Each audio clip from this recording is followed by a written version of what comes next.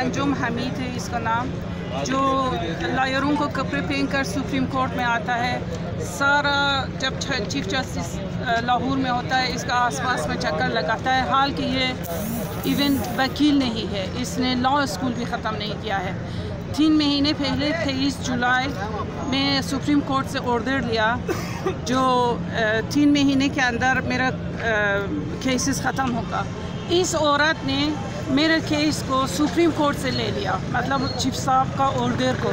اور پھر مجھے نہیں دیا، اس کو کاپی بھی مجھے نہیں مل گیا۔ ابھی تین مہینے ختم ہو گیا فورتھ منتھ بھی ختم ہونے والا ہے۔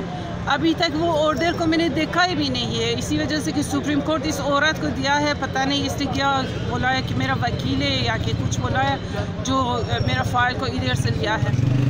پلیز میرا ریکویسٹ ہے چیف صاحب سے۔ ہم لوگ جب مجبور ہوتا ہے کہ دری تک نہیں پہنچتا ہے، سپریم کورٹ پہنچتا ہے۔ اور جب سپریم کورٹ میں ہمارے ساتھ ایسے دھوکہ ہوتا ہے، ہم کدھر جائیں؟ پلیز پلیز آپ ہمارا بات سنیں۔